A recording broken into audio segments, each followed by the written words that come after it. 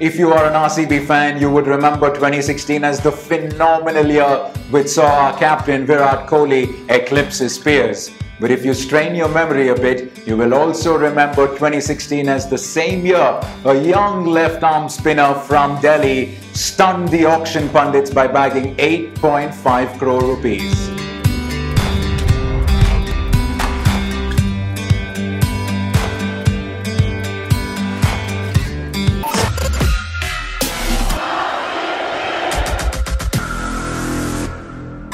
Pawan Negi was the highest paid uncapped player in the history of the Indian Premier League and that record stood all the way till 2018 when the Mumbai Indians decided to retain Krunal Pandya for 8.8 crore rupees. Well, it's another story that it was the Royal Challengers of Bangalore that agreed to pay Krunal that hefty sum until the Mumbai Indians swooped in right after. But anyways, what is it that makes Pawan Negi a red-hot T20 prospect? Well, let's just say that Negi is the quintessential cricketer that teams would love to have in their ranks. A bowler that bowls very well to the needs of the captain, a destructive batsman down the order, and easily one of RCB's fittest athletes, a supremely fit fielder who is equally effective in the ring as he is on the fence. Negi hails from Almora in Uttarakhand, the same place that Mahendra Singh Dhoni's family comes from. But it was only after his family shifted to the capital city of Delhi that Pawan Negi started to play serious school cricket.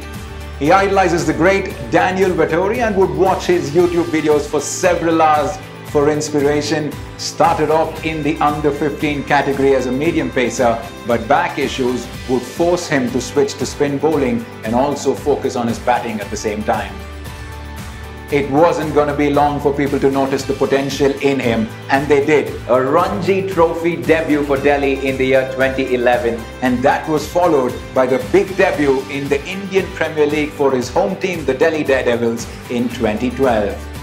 But it was only during his stint with the Chennai Super Kings that Pawan Negi flourished as a cricketer, and many started to consider Negi as a big all-round prospect for Indian cricket.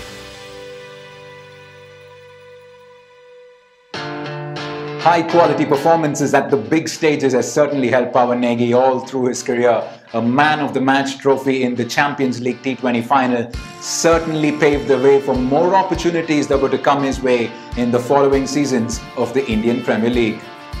In many ways, 2016 was a golden year for Pawan Negi in terms of opportunities. He may not have done enough to live up to those huge expectations in terms of his performances in the IPL, but he had certainly done enough for the big Team India debut in the shortest format of the game.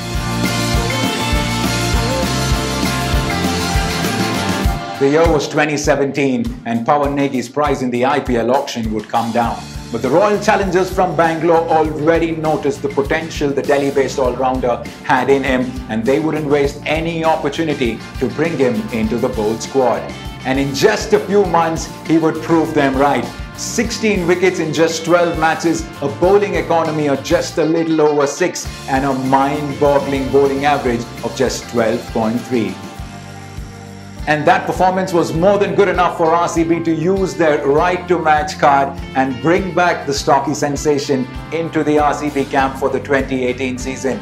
And 2019, well, no surprise that RCB retained Pawan Negi simply because of his contributions in every facet of the game. The world of franchise cricket is flooded with left-arm orthodox spinners and is often very difficult to carve a niche for yourself. But Pawan Negi has managed to do exactly that by not restricting himself to any single discipline of the game. And maybe that's why he's always in the reckoning in every single season of the Indian Premier League. Thanks to the lessons that he learned as a 15-year-old, Pawan Negi has managed to stay ahead every single time in the competitive cutthroat world of T20 cricket.